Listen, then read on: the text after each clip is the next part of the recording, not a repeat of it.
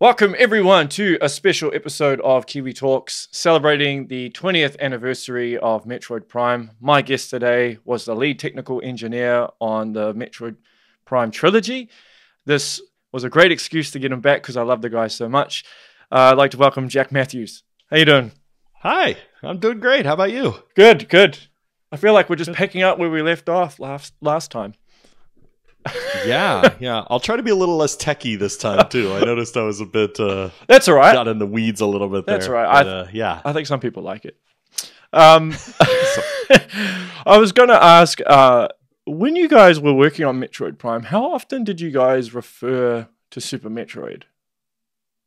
Oh, all the time. Like, like every day, or just we well, I mean, we saw ourselves as kind of a spirit, a sequel to, to Super Metroid. We're almost sort of between not really a sequel, but almost like a remake, like a 3D a 3D imagining of Super Metroid. So Super Metroid was was sort of talked about and thought about uh quite a bit. yeah? So, was there any? I mean, I suppose from a tech standpoint, was there anything you could take from Super Metroid, even though it was converted into more of a 3D space? No, not really. Um not not not on a tech standpoint. On a tech standpoint, we pretty much I mean, we started from scratch. Like, Yeah. we we had built, you know, Retro's game engine um or had been building it for a while and just started from there. Uh, I would say anything that was really taken from Super Metroid was more design and art and thoughtfulness on that end. Yeah, yeah. How far into the game did you start deciding on stuff whether it would be cut or not? Right? Because it always comes down to time, these things, right? You're always under time is the enemy with game development. Yes. Yeah, yeah. So, how do you decide when to cut something or how feasible it is? I mean, in Prime 1, we really didn't have time to cut much, as far as I can recall. Like, we jumped in there, like, the first.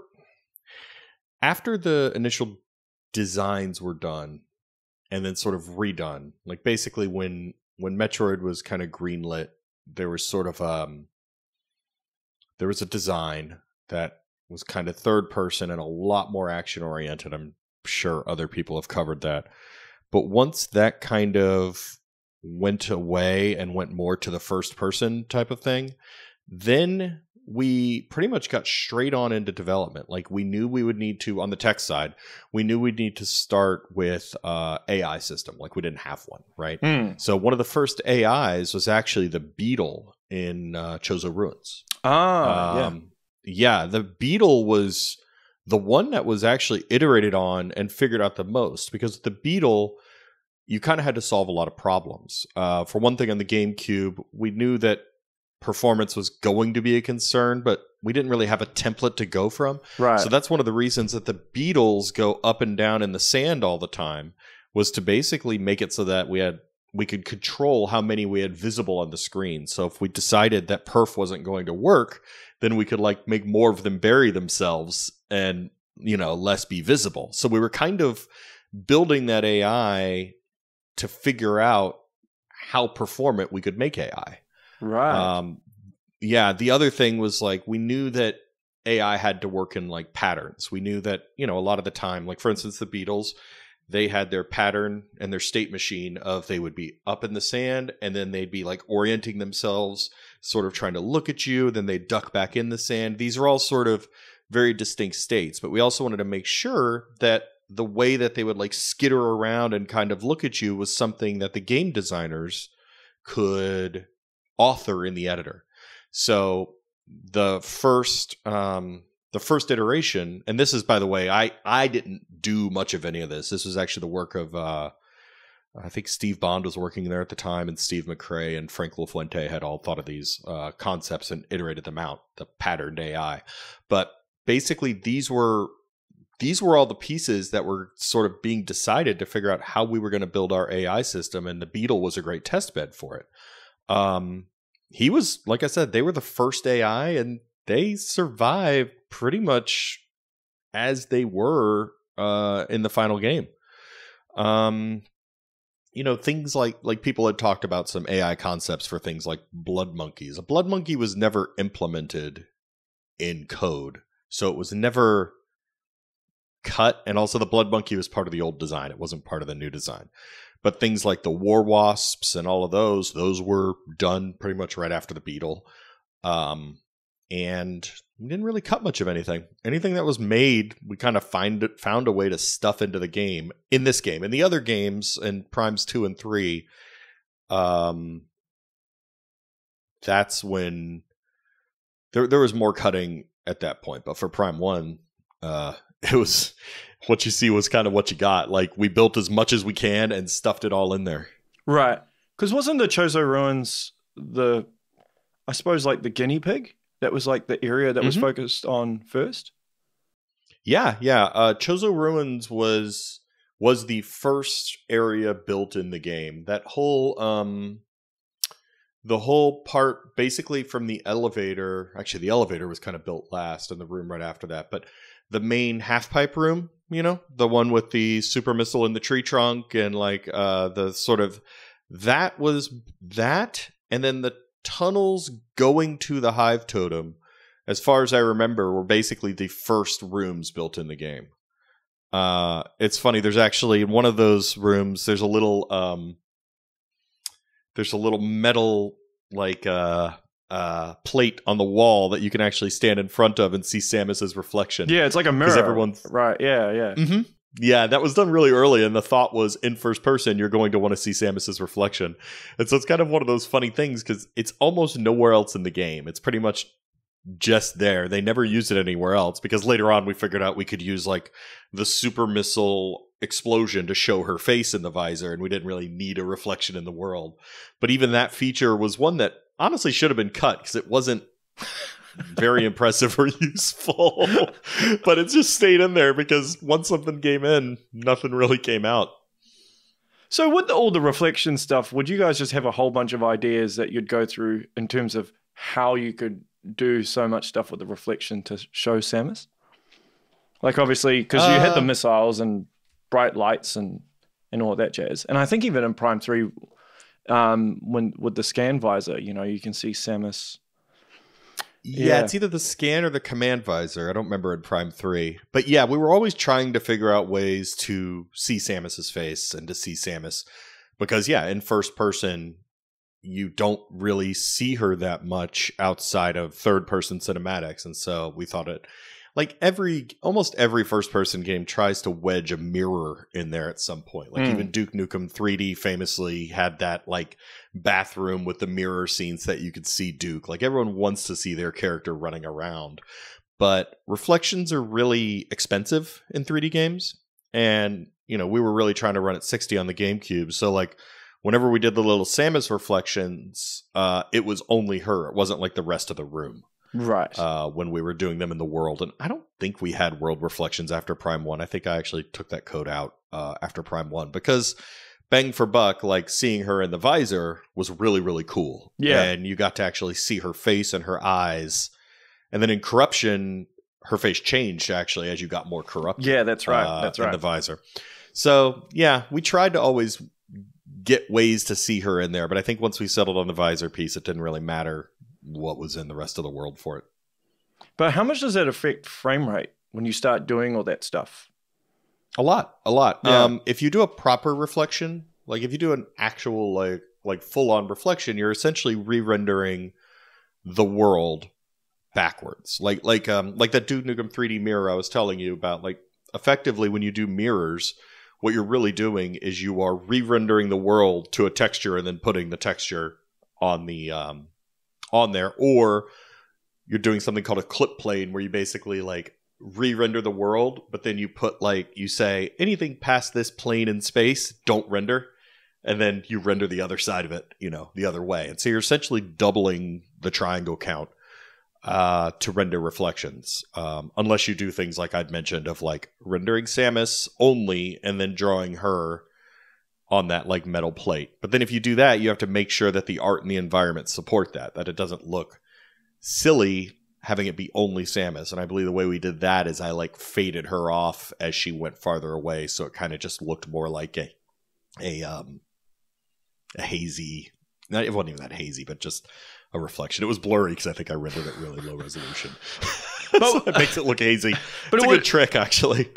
But it would it would be harder in a in a game like Metroid Prime because of the complications of the third person camera, right? Like the third person camera is extremely complicated because of mm-hmm. of all the different things that it has to do compared to a standard first person game because usually a first person game is always in f- first person whereas uh, the- yeah yeah i mean when you're when you're well when you're in the third person camera you just don't render the reflections in that case you know uh, but you know third person though does does afford you more opportunities than first person on optimization because with third person you can kind of control what's being drawn on the screen by how you allow your cameras to dolly and stuff Whereas with first person, you can put your face anywhere, so you kind of need to be able to run at 60 anywhere. Like a person, it's actually harder in first person to maintain frame rate. Yeah, that, that's what I would um, think. Yeah.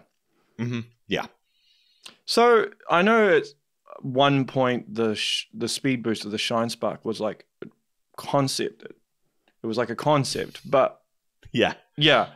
But I mean, did you ever like, or did anyone in the team ever try and test like a test how to do it?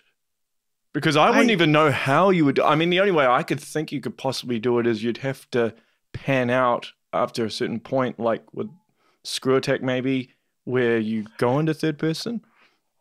That yeah, because we were we knew that it was never going to work just in first person because it was just going to be a barfomatic if you did it in first person. You know, like literally you would you would have to like you know adjust the FOV and then people. I mean, it would just it would cause motion sickness vomit flying everywhere. Yeah. Yeah, and and especially like oddly enough um the Japanese uh have a re- have I, I don't know if it's cultural or they just don't play the games as much or something, but they were they got motion sickness a lot easier uh than a lot of um than a lot of us stateside. And so we were actually ultra sensitive to not making them motion sick uh, as well. Um, it was really difficult. Like for instance, um, I, I'm diverging a little bit, but like the uh, the lag on the visor, you know, yep. The uh, you know, like you turn and then there'd be a slight lag.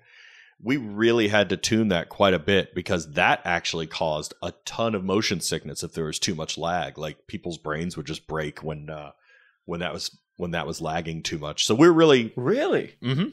yeah, because basically like your brain was seeing something moving with your head in a way that it didn't expect to be moving with your view and it would just break people's heads. I mean, like it was, and, and, it was certain people. Like I never had the problem, but we'd have other people in the studio that would just start playing and get nauseous. And so we actually had to really tune. We used to have it be a lot laggier, and we had to really tune that down uh, because of that. Yeah, it's it's crazy the number of things in first person you don't think of. So yeah, our thought was if you did the speed booster, then you'd have to sort of go into third and then go back in, kind of like what we do in Screw Attack in um, Primes two and three. But I think the main reticence to actually doing it, no engineer did this, by the way. Like we didn't, I don't recall us actually even doing it. Was that uh, we already had enough of a hard time dealing with like load issues. Yeah, you know? yeah. And um and I think it was sort of determined that like the boost ball was fast, but I think people would have expected the speed booster to be more sustained mm. and faster. You know, like with the boost ball, you kind of do a boost and then stop and a boost and stop, and that kind of made sense. Um, but then with a with a speed booster, you'd kind of want it to be that way. But like everything about what we were doing in Prime and Prime Two was actually trying to slow the players down between rooms. So, you know, like we uh a speed booster, we we just never had a straightaway that would have been long enough to make the speed booster um relevant or useful, you know. I mean, even these days, if you were to try and make it with the hardware, would you still run into the same problem? Because obviously, you'd still have the problems with loading because you'd have a higher pixel count, or you know, I mean, because the graphics yeah, I mean, are more you'd intense. Still have problems. Yeah, yeah, you'd still have problems with loading. I, I would say that like you know like like in Primes two and three, what we did for things like Screw Attack and stuff like that was we made more sparse rooms. You know, like Skytown, for instance. Yeah, we'd have the big areas where you could do the Screw Attack over you know the space jump slash Screw Attack over those uh, spaces, and they weren't fast, but they were vast. Jeez, I didn't mean to make that rhyme. Um, they were they You're a poet and fast, you didn't know they it. were vast. I know.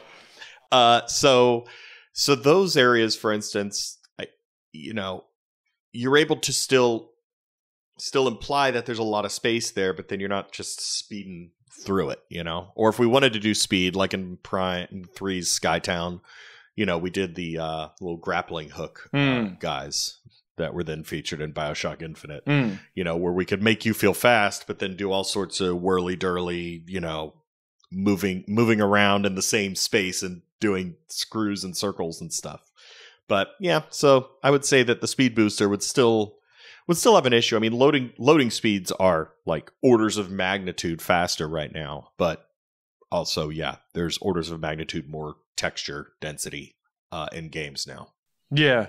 Did you like obviously I know with like the bombs is you didn't allow to do the infinite bomb jumping because otherwise you'd end up out of the world.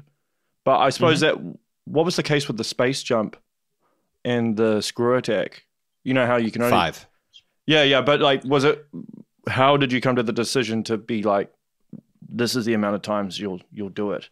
Like with the screw attack. Oh, because you um, know how in the 2D well, games for- you could just do it for in- infinity. yeah yeah i think that well yeah i think that the the deal well two things with the screw attack one there was actually the um uh the late andy o'neil implemented that and he did something really smart with it where basically he made it so that as you were doing the jump you could never end up going higher than when you started the screw attack Yeah. so so if you started it here then you you engaged it and then you did a jump no matter even if you went like a little early or a little late he always did the math to make sure you always topped out at the same Ah, right, space so- through the whole thing. Yeah, yeah. so you know you could like sometimes dip a little lower but then get yourself higher but you'd never get yourself higher than the top. But it never felt like your head was hitting a ceiling. He did it smoothly. You know he made it so like the amount of force that it would apply just wouldn't get you up there. So so vertically we were kind of covered there and i think the five number was just arrived at probably i don't remember why exactly but i would imagine it's likely because they found a place in skytown or other areas where they wanted to they had a set distance they knew how much it was and then that was deemed the longest. Because if you went any longer than that then we'd have to do a lot of stuff like detecting when you went too far out of the world and then drop you out you know stuff like that. So i imagine they just found the longest chasm set it to that and then called it a day Yeah. is likely what happened And I hmm. suppose that would have been the same with the space jump. You wanted to, I mean, I, with Prime One as well as you have no cliffs. There's no cliffs in one compared to two and three, but because you know how you, yeah yeah because you only jump, mm-hmm. it gives you the ability to jump once. I've seen a mod. it's a double jump yeah, yeah. I've seen a mod where someone made it so you can just infinitely keep jumping. But then I think they've done it the same way with the screw attack, where you, you kind of, you still have to keep at the same level. Mm. Yeah. Yeah, I mean the space jump was always just a double jump. The space jump was something that I think we ended up giving later than we expected because we really wanted the player to feel like they had a lot of control in first person because you know, we touched on this in the prior episode of that when I spoke to you when I talked about the the jumps, you know, dipping down yeah, and tipping at the camera. like that. Yeah. Yeah, and so double jump was another piece of that of basically really making the player feel like they were in control and it was almost looked at as like an escape hatch. Like if you kind of went in a direction you didn't really like, then you could sort of use the double jump to kind of fix that. Um, and so that's where a lot of the space jump slash double jump stuff came into control. Hmm. We did speak about Andy O'Neil before, and I feel like we've covered Mark Haigh-Hutchinson a lot on this show. Andy O'Neil hasn't really Mhm. gotten the spotlight, has he? Because he did a lot of stuff, right? He did, and let me just Oh, make yeah. sure, yeah, spider ball, static lighting, particle tools, memory optimization, and obviously the screw attack and dark beam and stuff as well. But he did a lot of stuff, didn't he? Uh huh. Yeah, he did a lot of the collision system, uh, and he he sadly passed away a few years ago. Yeah. Um, but he he was. I mean, like basically, we were co-tech leads on Metroid Prime One. Like we were both considered technical lead engineer, um, and our we didn't have much overlap in what we did. Like I did a lot of the streaming stuff, I did a lot of the non-particle based graphics stuff. He did he did a lot of things that were related to like um harder math to be honest, uh physicsy things and uh collision and that kind of stuff. Um he did uh oh he did the ice spreader in Prime 1 which became I guess also the dark spreader in Prime Two. You yeah, know, yeah. the, the the the super missile ice thing that would like uh That was such a cool- collision and then sprint. I know Cool effect. it was really cool, and he did so much work to make that happen. Like, and it was so cool because basically on an engineering side, it was really awesome because essentially he he he made it so all the collision data all those collision triangles like knew how to travel from edges to other triangles and then that's how he actually did the ice spreading yeah. was he'd find out which triangle was hit and then he made the data such that he could walk all the other triangles in all these directions and make the ice particles spread in all those directions. It was really cool. Um you know the spider ball stuff he did was was pretty amazing. Like like uh making it so that you were always feeling like you were going the direction or mostly always going the direction you wanted to go even if your ball was kind of changing all around the way. Uh stuff like that. He did yeah he did amazing stuff there. And with the particles i mean he was able to wrestle so much performance out of the particle systems and get us a lot more particles than we really should have been able to have on a GameCube or a Wii, to be honest. So yeah, his he and I mean, and he did all the static lighting, like like it, like the the um the light maps, the uh the offline generation of light maps. He basically wrote that tool from scratch. I remember Zoid and I were sort of talking to him about it at the outset, and Zoid and I had worked on Quake quite a bit, and so we sort of gave him a few primers on how Quake had originally done that, you know, their static lighting, and then he basically wrote all the static lighting stuff and visibility too. So like when you're standing in an area and you're looking around figuring out statically what you can and can't see like basically like if you're standing in a cave and there's something around a corner you don't want to render that you know if you're rendering a wall you don't want to render what's behind the wall and so with with the lighting tool he also wrote the static visibility tool of basically like if you're standing in a certain place in the static world it won't render enemies or you know things that are necessarily behind a wall um that kind of thing so he i can't overstate how much uh how much he did on on the projects So was he like a competitive, friendly rival, so to speak? Like, would you watch what he does and be like inspired by it? In a way. Oh, yeah. Yeah. Yeah. Yeah, yeah, yeah. I mean, it was it's a good way to put that actually is like competitive friendly rival. Um but also in, in a way where like I said we didn't have that much overlap in what we did. We occasionally had some overlap, um but by and large uh we we each kind of did our own thing. So a few times here and there we'd step on each other's toes. We we both have big personalities and big opinions sometimes. So there were definitely, you know, especially when things got way into crunch, there were sometimes just, you know, yelling matches or whatever every so often. But, uh, but nonetheless, um, yeah, I, I mean, I'm honestly like, like I'm insanely jealous of what he can do, uh, performance wise with things like particles and physics has always eluded me. Like I've never, I don't step into that domain because I'm just it's something that I was never that great at and I never got into it, you know. And physics, linear algebra, all that stuff, he it's just it was just instant for him. It's something I I very much admired. So what was your crunch level on Prime 1? I mean, I've heard the stories. Mike Wikan said he did 36 hours. Zoid said he was doing 100 hours. Clark Wen said that like he'd pretty much never he'd only he'd pretty much always there and he'd just go off for like 1 hour sleep and then come back. Yeah, that's pretty much what it was. We were all sort of omnipresent at the office. Oh my Um, God. I mean, there were there were well, um, well. By the way, you said Mike Wikan did 36 hours. I would hope he did more than that. Oh, Uh, 30, 36 hour days, 36 hour days, Oh. and then he'd go sleep. Okay. Sorry, I need to clarify that. Yeah, 36 hour days, and then he'd go away, and then he'd come back. Yeah.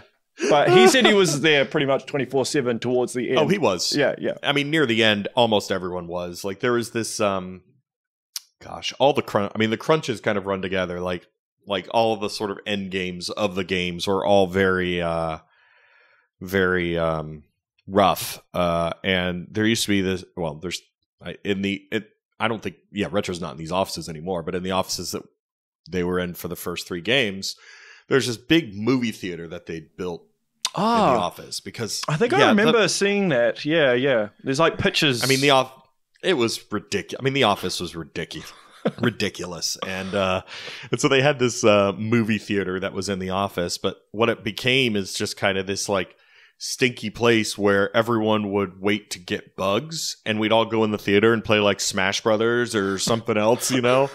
and it was, I mean, looking back, I mean, it may as well have just been like a holding area for a jail, like like literally people are just like waiting for people to give them bugs and just playing games all night until we can do it. I mean i'm not gonna lie like granted wikan had a family and a lot of people had families. And for the people with families that, that's bad. And i have a family now and i can't imagine doing what i did back then. Yeah, but it was a it was a thrilling time back then. Um, it was it was very very hard. The hours were ridiculous, but I it, it's like thinking of the first few months of my son's life right now. I don't remember a lot of it. like I think my brain has just sort of blocked it out at this point. Um, I remember like just barely going home. I remember being at the office constantly. I remember playing the game constantly. And and then afterwards I just remember the giant everyone crashing hard yeah, I uh, bet. is is oh geez yeah it was yeah it was it was bad after that yeah But Um, I, I don't understand how the brain can function at that level for so long. Like, I mean, particularly if you're just there 24 7 and like you're not getting much Well, sleep. Like, I'm, mean, did you just live on coffee? Like, uh milkshakes actually milkshakes. not not very healthy. Uh, well, no, I remember. Uh, I don't. Gosh, I mean, was it the last game or not? I, again, I don't remember the credit, but I remember there there was this time where uh, Bryan Walker, would, him and uh, Ryan Harris, the other producer, would go to Whataburger, which is a um, which is a Texas like burger place, and they would get the milkshakes. And I remember they were thirty two ounce milkshakes. They were these 32 gigantic things. ounces.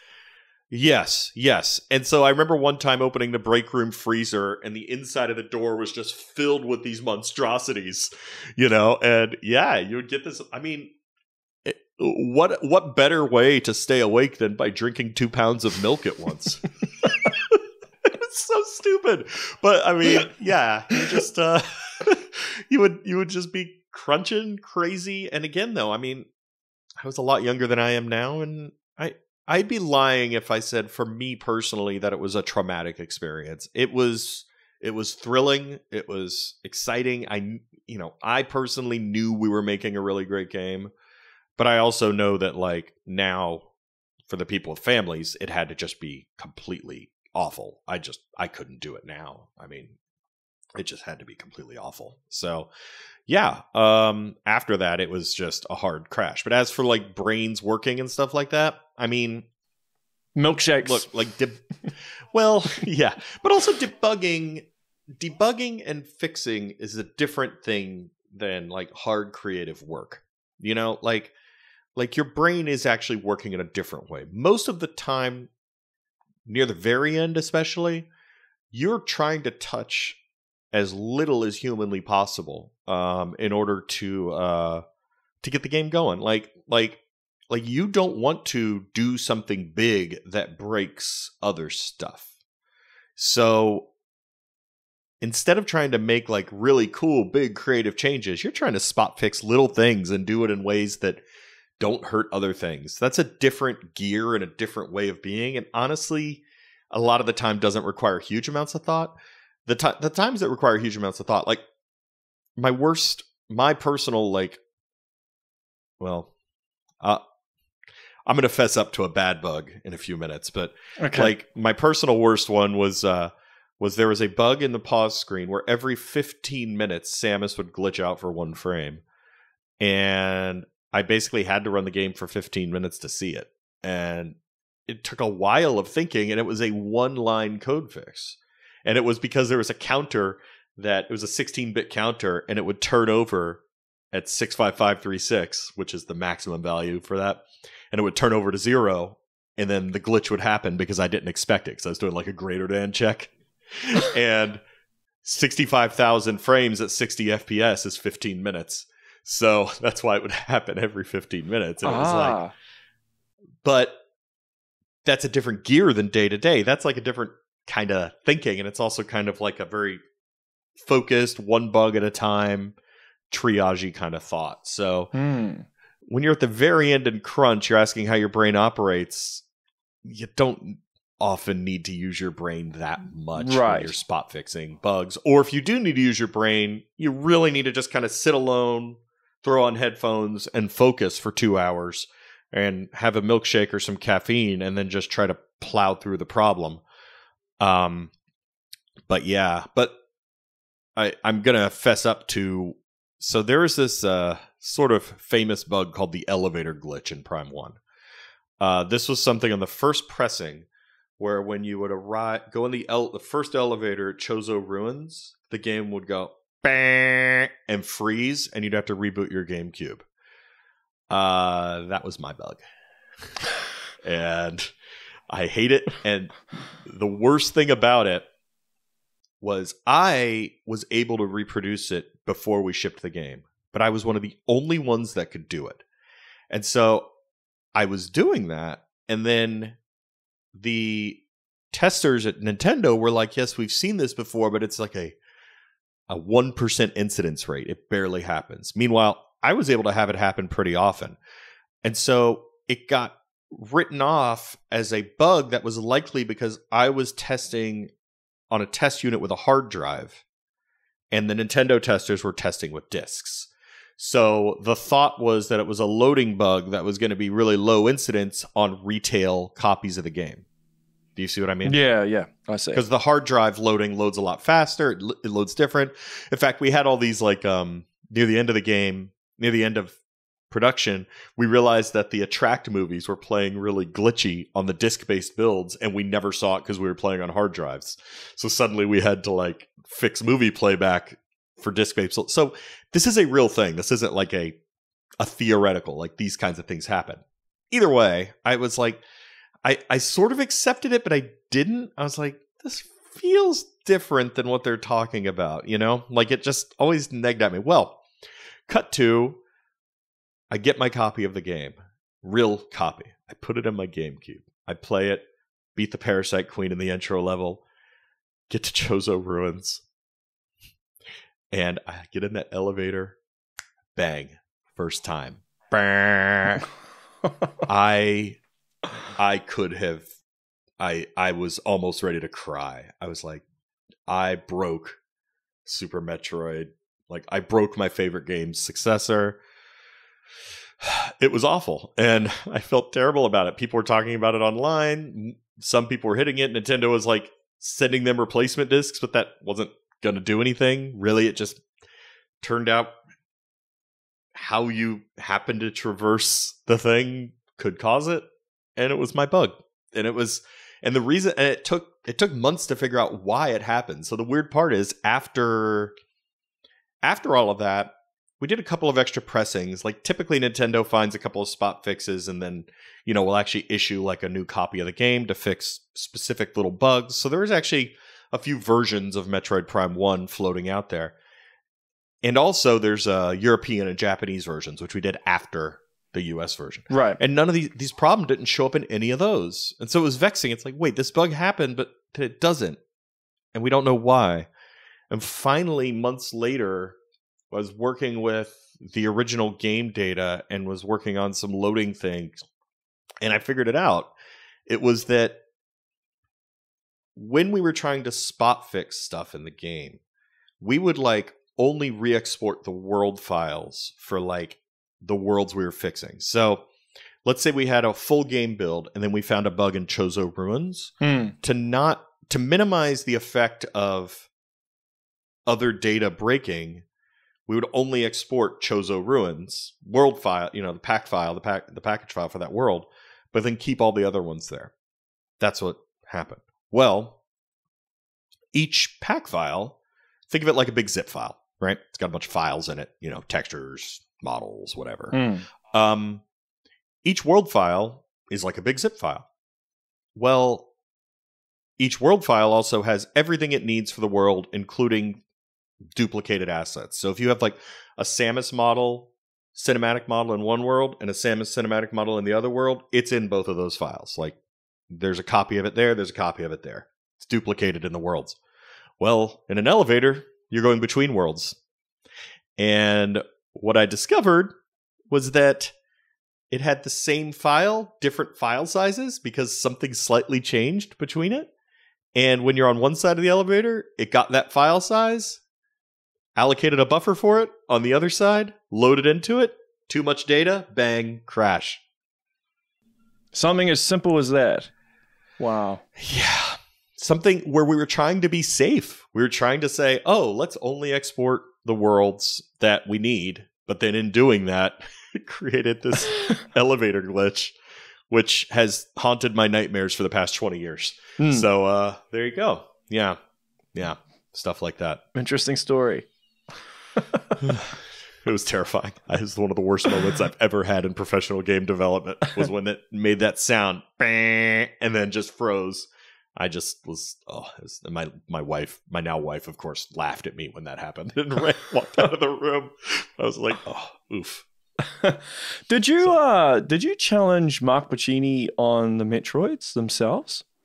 Like, did you want them In to what- be in what regard? And and like you wanted them to be more dangerous, or they take off more health. Oh health? yeah, yeah. He just largely ignored me on that, which was right. but oh my gosh, well, I it always really bugged me because our game is called Metroid, you know, and the Metroids in all of our games are basically easily killable enemies. You know, Yeah. like they don't pose much Of a threat. of a threat. yeah. Yeah, and so that that that bugged me. I mean, they were pretty threatening in the first game, but I think that they still had it where like you could kill them with power bombs or something. Um, you know, so yeah, I just thought it was like, like at least in the first game, the last creature is the met, you know, the Metroid Prime, and then the others, it just what you know they weren't there. But I I almost wanted like all or nothing, like either the Metroids are really hard or they're not really in the game, you know. Um, but I challenged him on it. He just he just ignored me, which was totally fine. I and it was the right move. I mean, it, it didn't matter. It just always was something that bugged me a little bit. I mean, I always love that cinema in Metroid Prime when you first see the first Metroid Yeah. after you have the ice beam, you know, when it comes out and you know you have to freeze it and take it out, and I really dug that. Um, but yeah, I just was I always found that would be a, a lost opportunity. Well, uh, the Metroids are always used, I feel, to good effect in creating, I suppose, more tension-based scenes or horror-based scenes. Like, like especially in Prime Three. Now that I think about it, there's that bit in Skytown where you go through the the Xeno research area. Good reference to aliens, by the way. Um, where you take you you take out the energy cell, and then all the power goes off, and then all the Metroids get set free.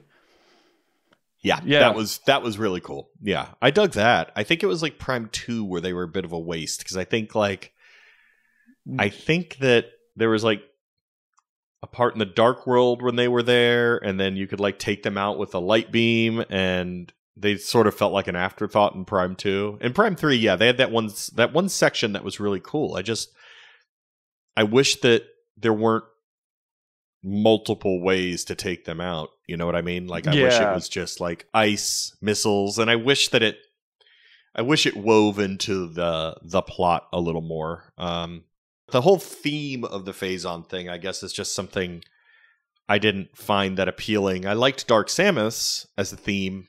The Phazon just kind of felt like a weird sort of MacGuffin uh, next to it, you know. And um, the corruption, the corruption thing, I thought was was a smart way to try to go of getting Samus corrupted. But because she's a paragon, it's kind of hard to sell that. Do you know what I mean? Like the other hunters were, the other hunters got corrupted in a way where they actually acted badly and became bad guys in Prime Three. But Samus, always as a paragon, her corruption never felt like she was going to do something bad because you were always her. and so that's sort of that was difficult, I would say, and I I think I think that's just a hard writing problem to be honest with you. Yeah. Well, I suppose you alleviated the issue somewhat um, with showing her face becoming more corrupted, and then I think there's a game over screen where she turns into Dark Samus. So there were That's yeah, right. yeah. Yeah, if you die from the corruption, then you become Dark Samus. But I guess like I it's a it's a hard video game storytelling problem where you almost want to see like a fall from grace or something, you know?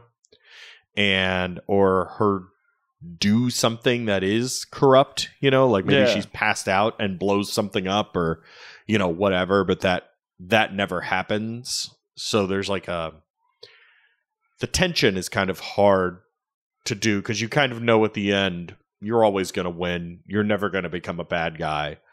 And that's just how it's going to be.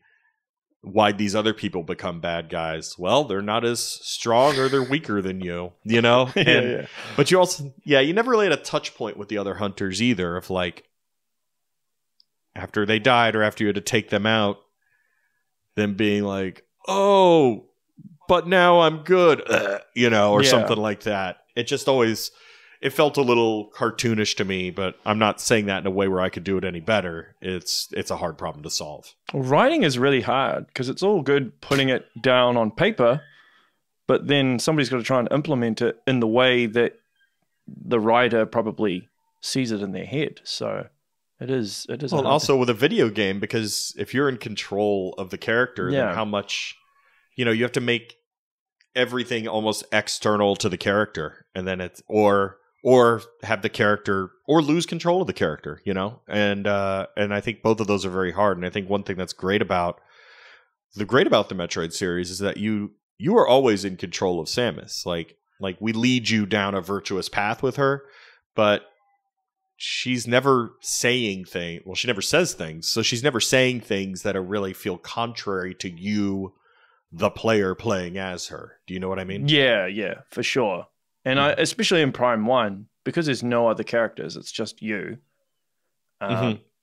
That would be make it easier, I suppose, from a writing perspective. You have you you you're not I I think you, so. You, yeah, you're like you don't have to conform to certain things or cliches or anything because of another character being in it or trying to work out some dynamic between Samus and another character.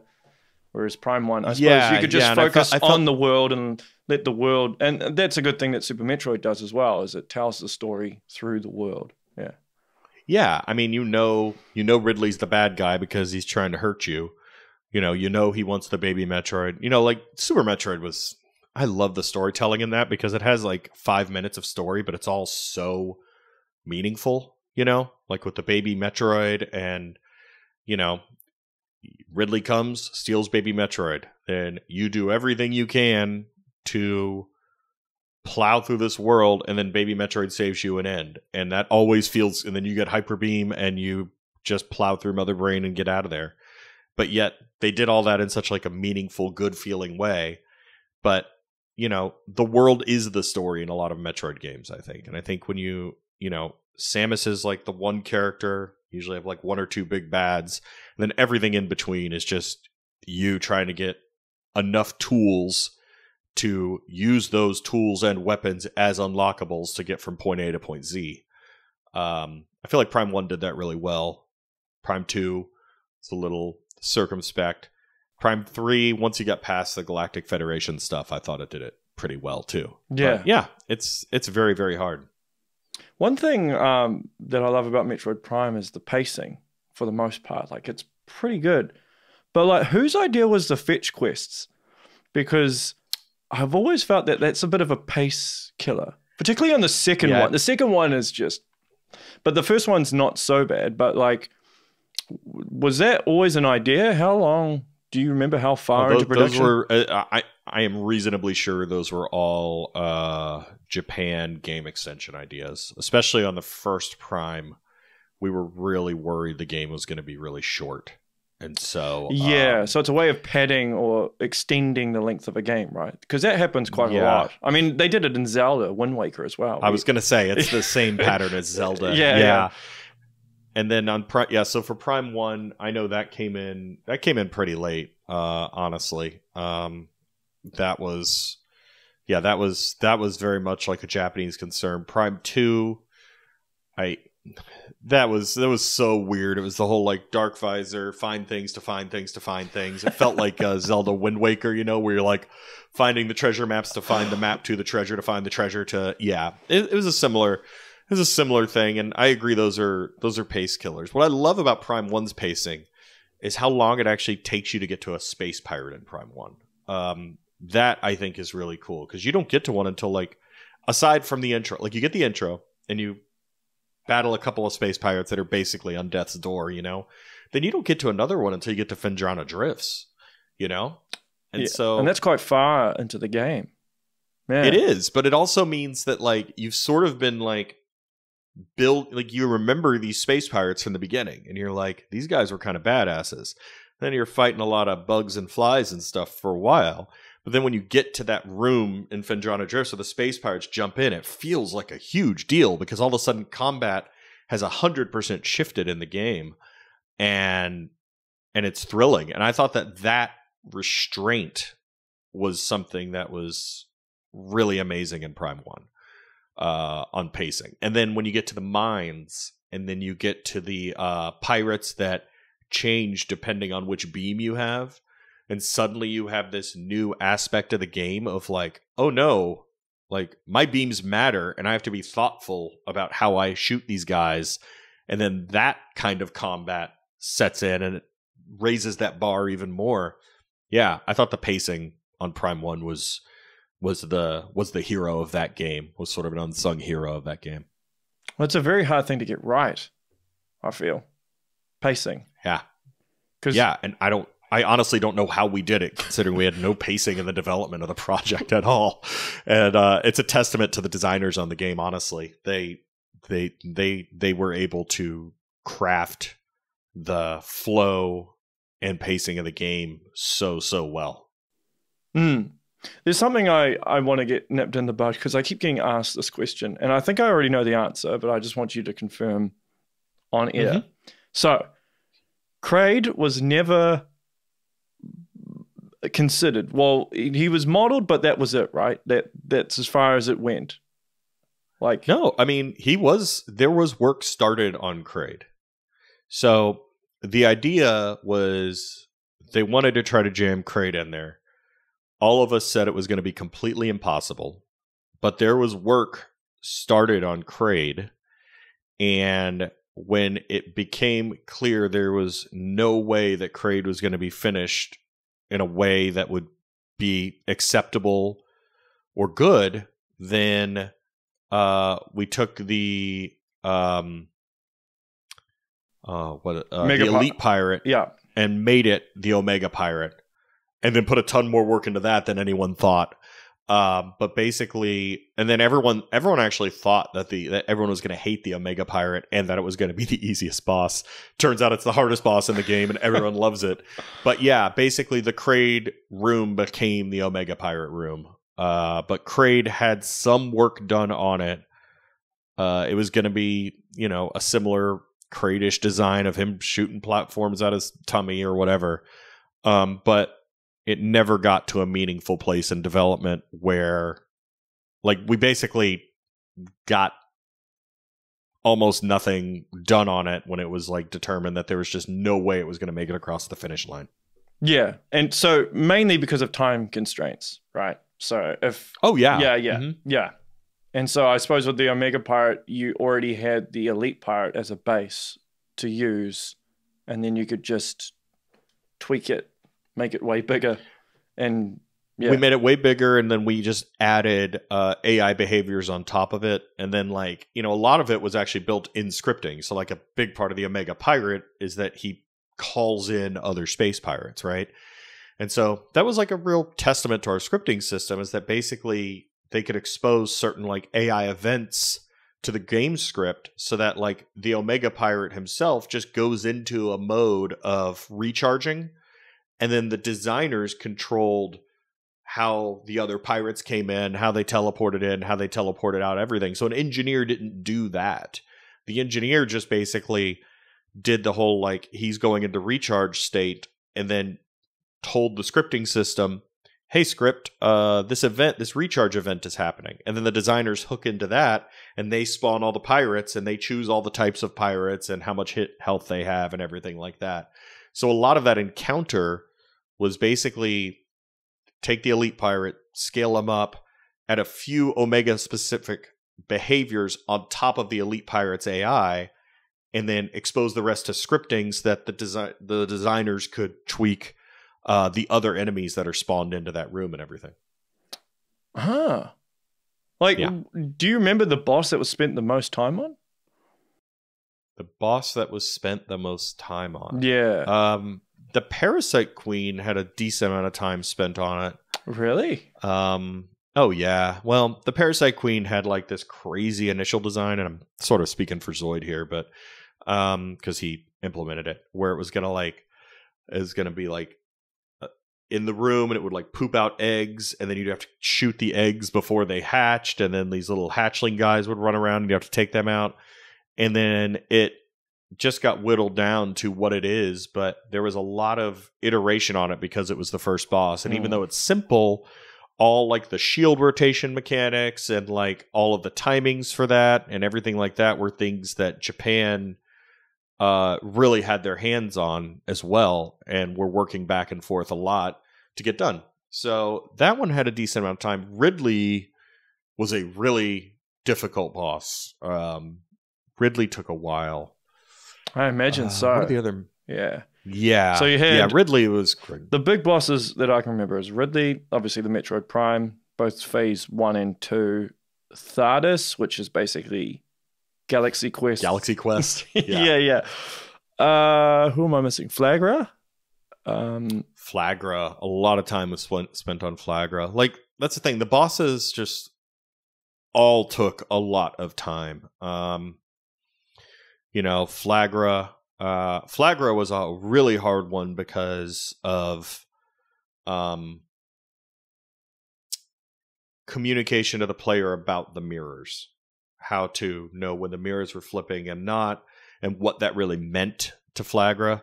You know, um, there's there's two types of damage in the game. There's the red damage where you're actually hurting something, and then what's called yellow damage, which is stun damage. You Mm. know, uh, so there's a lot of creatures where you're not actually impacting their hit points, but you're stun taking them to a stun state so that you can hurt them. yeah, that's and right. Flaaghra was chock full of that. Like, in fact, the only time Flaaghra showed damage was like during the cinemas when it was, you know, what a world, I'm melting, you know, when the sun would hit it. And uh and then it would flash red to show that's what you actually did to damage Flaaghra. But before that, nothing you were doing was actually hurting the creature. It was just getting it into the position to be able to do the bomb to, you know, kill it. And so that was very hard to communicate and took like a ton of iteration and scripting of cinematic cameras and all that. The actual like engineering work on it was less difficult than scripting everything because like Flaaghra was one where you know you had the vines in there and it had the morph ball tunnel that you had to go to. So then you had to like do enough of the sun things to have it release the vines. Then we had to show like one of the vines being released and zoomed into a morph ball tunnel because nobody knew that those things were even morph ball tunnels. And then, you know, then you had to go in there, bomb it, and then it did its little cinematic. Then it would flip all the mirrors again. It was just a mess because it was a lot of interlocking parts that actually had nothing to do with the creature, but everything to do with all like the blockers in the world and everything. Um, Thardus, Thardis, I I feel like had a decent amount of work on it too, and that was that was a tough one because of all of the thermal visor integration Yeah, the, the switching Like- back and forth. Yeah. and the blinding and like having certain things marked in there. But and then the just the animation stuff of Thardus was was interesting and different. I Ridley took a lot because Ridley was one where unlike um unlike Flaaghra, uh it did everything. He crawled all around, he flew all around, all his bombs impacted and blew up things in the world and Ridley was just had to be ridiculously smart and also feel like he's a creature moving in the world with you. Well, Um, yeah, and there's such a build up to him as well. Very subtle in the way it's done, right? Because you meet him at the beginning, and then there's that little cutscene I think in Phendrana Drifts as well, where you see him fly over.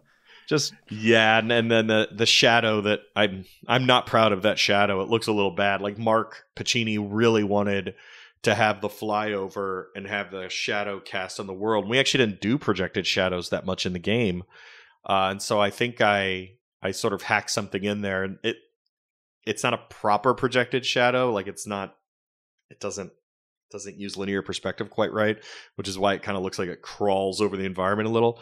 But yeah, you have that, and then Ridley, the boss himself, is I think the only boss that also has a projected shadow. Like if he's when you when you look at him on the ground, he actually has a proper shadow on the ground, not just a not just like a little puck shadow yeah, like the other enemies. Yeah, so he's a big deal. Um, yeah, I, I Ridley was a very, very, very complicated boss. The the Metroid Primes were really complicated too, but they were also done like right at the end of the project. And honestly, like the engineers working on Prime stages one and two were just wiped.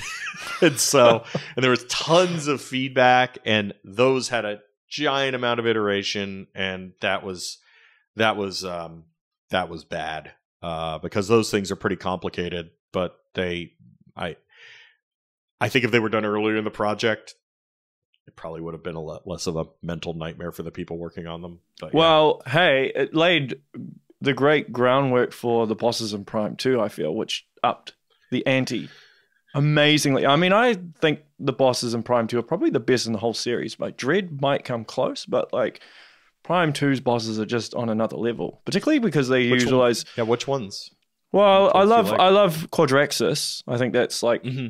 I held a I held a uh, a little poll on Reddit to vote for people to vote on the best bosses, and Quadraxis won easily. yeah Um, Quadraxis is great yeah, yeah. The Emperor Ing is awesome. Like even creative stuff like the Spider Ball Guardian, although people hate it because of if you die, you've got to go way back to the the, the last save point. And um, yeah yeah, like the the the Chykka, a Morbus. I'm probably missing some off the top of my head, but there was quite a number, of vast amount of bosses as well. So, yeah, yeah. Ch- Chykka and Amorbis were were I, I really love Chykka actually. I think that one is is really cool and inventive. Amorbis uh Amorbis was a tough one uh because getting around that um the arena uh and having him still feel huge and jumping around like that was really uh was really tough. But um yeah, I I love the bosses in Prime 2. I mean, that's like there's a lot about Prime 2 that um sounds like just time constraints about- again. well, no, Prime 2 was less about time constraints and more about like it was going to originally be like more multiplayer focused and less single player focused. And then then it flipped. And when it flipped, it it just got you know, and then like I said, you know, I'd said this in the prior one that the Dark World was supposed to be a production saving, but then ended up being a bit of a albatross. And um and so all of that. And then i think that just theming wise the whole like you're constantly taking damage unless you're in light zones.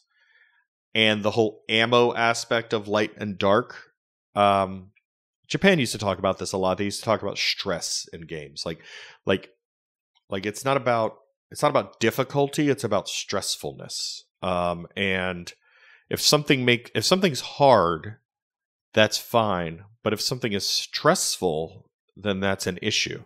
And so, Mm. for instance, ru- plowing ammo, like like like beating down on a boss, and then suddenly running out of ammo and needing to get out of your flow to find ammo to then get back to the boss. In my mind, it's something that's stressful. Um, you know, or like having to time all of the um the dark uh you know the dark bubbles um necessarily you know is stressful. Like if you're sitting in one and you're like all right i'm about to take out Amorbis but then i'd forgotten that five seconds prior i'd done it and it's about to go away you know and then in the middle of it suddenly i'm like taking a bunch of damage. Is that difficult or is it stress? You know what i mean? Yeah, that's actually an interesting way of looking at it. Yeah, and so a lot of people like that. Like a lot of people love the stress. They love that that feeling, and I think it's a tender balance that especially with the ammo stuff we didn't quite get right in Prime 2 of like some things felt stressful in a not satisfying way that made you like for instance there's a lot of time in the dark world where you're just sort of plowing through it because you want to get to that next light bubble and you're not enjoying anything around you and i think that that's that's a difficult thing. But i think that especially like once you get the dark suit and the light suit and you're able to sort of move around a lot better then that's when i feel like the game actually really really opens up and becomes like okay this is this is the game where now it's it's strategy it's thought it's not like trying to remember timings and move around. And that's when i really uh, enjoyed it. Like that emperor the Emperor Ing i love. I absolutely love that boss. That's that's a great one yeah it's it's when it when we talk about bosses i'm like yeah they are some of the best it's like everyone was like okay we learned from prime one now let's let's flex let's let's yeah. let's go in yeah yeah, and Prime 2 was was also like those light bubbles were actually a lot harder than you'd think. To, uh, to just make them to make them function. No, actually it was the lighting. So the hardest part oh. is ah. like when we're doing most of our lighting in Metroid is static, right? And so um meaning that it's pre-computed and that it's usually like a much lower resolution than like the triangle resolution, right? Right. But when you see like a bubble of light what your brain expects is like a harsh edge, you know, around the bubble of light. And so we actually have that. And the way we had to do that was um, we actually had to chop up the geo where every light bubble could be so that there's a hard geometry circle edge when the light bubble is fully extended so that the light stops right there. And so we had to do all this stuff in the worlds to actually like chop them apart where light bubbles would be static light bubbles would be placed to do that. So it's funny like if you see light bubbles that are on platforms, you'll find that the whole platform lights up and that's because if it's moving and everything, we're not going to chop that up. Right. But yeah. Yeah. So uh, we had some interesting problems to solve there that are things you wouldn't really even think about in the game. Since since you're a tech guy, I'll I'll, mm-hmm. I'll wrap up with this because I think there's a lot of unrealistic expectations when it comes to Prime Four, and people are thinking it's going to be like the Breath of the Wild moment of Metroid, and I'm I don't see how you could possibly do an open world game uh, and keep it at 60 frames per second with all the complicated camera work that the the Metroid Prime series has. Like I don't think you could do that. Especially on Switch. No. I think it would be extraordinarily difficult to do that on Switch. Like even on the even on the prior um the prior generations, the Zelda games were always games even before pre Breath of the Wild, you know, Wii, GameCube, all that. The Zelda games were always games that had big expansive um things, but they always ran at 30. And they also always had less geometric detail close up. They always you know, like I, it, there's actually a bug on the GameCube hardware where if you had really large triangles that intersected with the um, with the near plane, with the plane, the camera plane, and if those triangles intersected, the uh, colors would kind of uh, warble a little bit. And I remember in the Zelda games, you would see it all the time uh, because they had such giant triangles that were not, you know, geometrically detailed. Whereas on Metroid, our thing was always like our art. Like if you looked at it in wireframe, it didn't look much different from the game, and um, and we had huge amounts of geometric details. So yeah, I think that that that seeing giant expanses and and you could even see it in prime primes 2 and 3 like the areas that like the areas of prime 2 uh that had big expanses with land didn't have nearly as much detail you know they had like rock faces that were kind of maybe far off or whatever but you didn't have as much up close geometric detail as you did when you were like in caverns and stuff. So, yeah, I think they would have a. I, I think if they tried to go for 60 with big open world stuff, then that would be at the expense of the high detail, cool interiors. And so I almost hope they don't go for Metroid Breath of the Wild. I hope they go for like amazing, beautiful, dense geometry that still gives you that kind of claustrophobic feeling that Metroid's pretty known for, honestly. Yeah, totally. Um, I mean, it'll it'll be good. I'm sure it'll be good. I just think that some sometimes fans don't actually understand any of the technical stuff of game development, or they don't actually understand yeah. game development. Period. And so they just come up with all these ideas in their head and somehow convince themselves that that's actually going to happen. and then it doesn't happen. Well, and then people get disappointed and angry. And it's like, well, you did it to yourself. yeah. I mean, I remember when I was a kid and I thought a two person Mario game would be like, just throw Luigi in there and both of you are on the same screen hitting the same blocks. And I remember like I actually found it when I moved a couple of years ago. It was like an old like little design I did when I was like 12 or something of like a 2D Mario game. And I look back at it, I'm like, wow, this would have never worked. And it would have been so unfun and terrible. And it was just, you know, everyone doesn't understand it. But honestly, like it's also the um the role of the game people to make it so people don't really know what's going on under the hood you know, like you don't want, you know, you go to a magic show, if you see the magician picking the wrong cards and stuff, that doesn't feel good. You don't want to know what the magician's doing. I mean, you do want to know, but then once you know, then it's like, well, that's not fun anymore.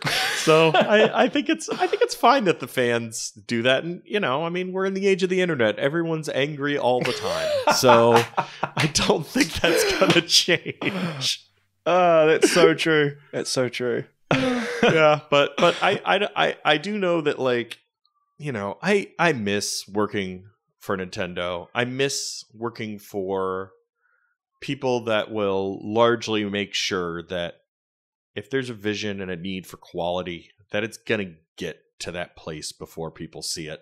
Um, you know, like we got to that place on Prime One. It was a screaming awful crunch, but the game still only came out when it was going to be a great game. And that's what I think Metroid Prime 4 is going to be. I don't know what it's going to be. I don't know what you tell of that story. I mean, I imagine it's going to be like Sylux or whatever, but like but I don't know what it's going to be, but I know what I know they're not going to put it out and it's going to be bad.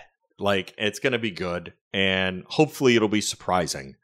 And hopefully it'll be something that uh that injects some really good new blood into the series. I know the people that are still at Retro love love the IP and love everything about it, and everyone on there loves it. So I'm I'm really really optimistic as to what it's going to be. Yeah, and honestly, I'm just really impatient, and I'm hoping they use this 20th anniversary to release something. I'm not want, counting on I it. I want to know. I'd rather be I'd rather have no expectations and then not be disappointed than have expectations and then be disappointed. I'm not sure if you do you remember there was this rumor that there was going to be a HD version of Metroid Prime, right? This has been going on for years now. Oh god, yeah. Yeah, yeah. yeah. And then there was a direct that happened and nothing got announced and then people got super angry about it. Screw Nintendo. Yes. And I'm like, well, just some randoms just started some rumor and it somehow went viral as it did. And, then people yeah, get angry I, at Nintendo and retro. And it's just like it's so funny because especially with video game rumors, like I remember it was a few months ago, someone revealed like there was someone that had like this amazing hit rate on like guessing what was going to happen. I think it was Nintendo Directs or Sony or whatever. I think another one, yeah. And they yeah, and they would go back on Twitter and be like, "Whoa, look how much this guy got right." And I think he finally admitted that he just shotgunned a bunch of crap and then after the um after the the announce came out, he just deleted the old tweets that were wrong. Yeah. Well, great. And so like that's what these Nintendo Direct things are. It's like everyone gets angry. You know, it's like the old uh the old Megaton announcement way back like 20 years ago when Nintendo was going to make some like megaton announcement of hardware or software and it was called megaton I, whoever named it first kudos to you because it's still a thing even though it was never anything. Like it never came so yeah. Let people be mad. Let them be angry. Yeah have no expectations. The only expectation i have is that it'll be good. That's it. It will be good. Like it will be good. but, as you said nintendo yeah. don't release anything that's bad usually. That we remember. but uh yeah. So um So yeah, I think uh, I, I I am I am really really optimistic that my friends over there are going to do some uh, do some great stuff. Oh, I'm sure they will. And, and what better t- yeah, what better time to make a claustrophobic game than two years during COVID when no one could leave the house? So maybe that'll inform some uh, some interesting design decisions. Yeah, yeah, possibly, possibly. Well, hey, I'll uh, I'll wrap up there. Thank you so much for taking time out. Uh, I very much appreciate you doing this, as always. Um, I have a very soft spot for Prime. Um, I'll just tell you a little story, and I'm speaking to you and to all the devs. So, uh, Metroid Prime was a good coping mechanism for me when my my mum passed away. I played that religiously, and rather than turning to alcohol and drugs, that was like, you know, my saving grace. So, I will always hold you in high regard. Um, it makes me a bit sad that you you had to do the crunch that you did, but I just just want to say thank you, thank you so much for working on such a phenomenal game.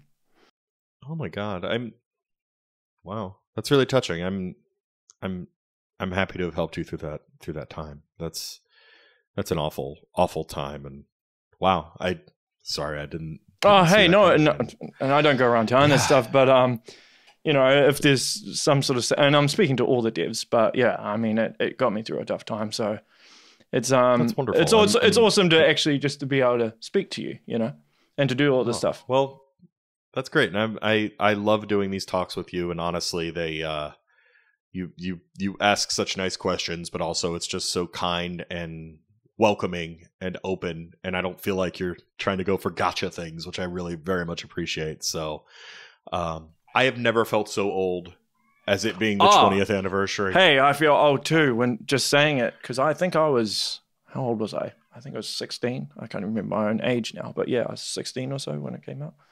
Good lord. Yeah, no, it's it's it's such a blur and I'm I'm honestly just happy that people are still loving and enjoying it and it's it's great and hopefully an HD remake does come out. That might be what they announce on the 20th. Maybe. Maybe, Who knows? maybe, I don't know. yeah. I really don't know. I hope. God, I I you know, how many times have you played the game? Prime 1. I, I, it would be well over 50, 60 times easy. Um, Same here. I'm going to play it again if they do an HD remake. oh, yeah, for sure. Yeah, yeah. Um, I suppose, like, in terms of quality of life improvements, what do you add? I mean, checkpoints, maybe fine tune the fine, uh, the fetch quest, but there's not much I'd, uh, I'd change about the game, really. It, I- it I holds want up really to- well.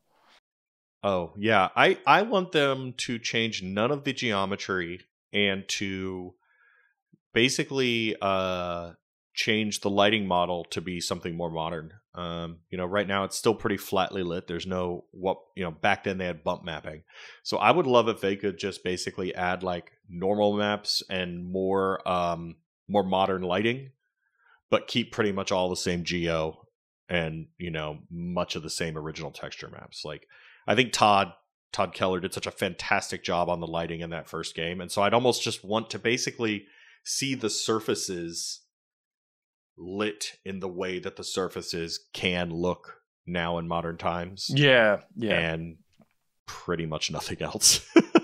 Uh that's that's you know that that's what i would like to see. I mean yes checkpoints more more checkpoints for bosses. Um you know They'll things like definitely need really- to do that. If they do a Prime 2 HD at some point, they'll definitely need to add in checkpoints. yeah yeah but i would just like to see i would just like to see the materials um you know uh have a have a uh have a new pass on them you know use um uh use more conventional um uh, what's called pbr lighting models and uh and that's that's all i want to see out of it Mm. honestly that and higher resolution Was there ever an elevator that was considered between Phendrana Drifts and Tallon IV Overworld? Because you know how you, you go a lot, back and forth a lot between Magmoor Caverns, right? Particularly when it's anything that involves Fendrana. Because Yeah, I doubt that there was. So the whole map was actually pretty tightly thought thought through in terms of the flow of the game, uh, item progression, and all of that. Now, I will say that the fetch quest stuff kind of break broke that a little bit. So I really doubt it. I think that the Magmoor Caverns, uh, you definitely go back and forth through it a lot, but I also wouldn't be surprised if that was a bit of a game lengthening measure too. So yeah, I, I doubt that anyone would have reasonably put an elevator there. Mm-hmm. Because again, we were full of terror that the game was too short. So, you know, I definitely Uh, wasn't sure. I mean, the 2D games are short. Like they are short. Oh, yeah, but yeah, no. When when we got when we got back like near final, like that people were taking twenty to twenty five hours to beat the game. We thought it was going to be like nine hours average, and then it turned out to be like twenty to twenty five for first playthrough. And we're like, oh, oh, okay, this is fine, you know. So, but yeah, we're definitely worried it's going to be a lot shorter. Yeah, yeah. Well, Jack, this has been an absolute pri privilege to to speak to you again. I always love these chats. You're the you're you're such a sweetheart. So I love I love speaking Ah, to you. Thanks. Uh, awesome. Well, I I really enjoyed it. Yeah. So that is the show, everyone. Make sure you share, like, and subscribe, and play Metroid Prime again and again and again forever. All right. All right. Take care, everyone. See you later.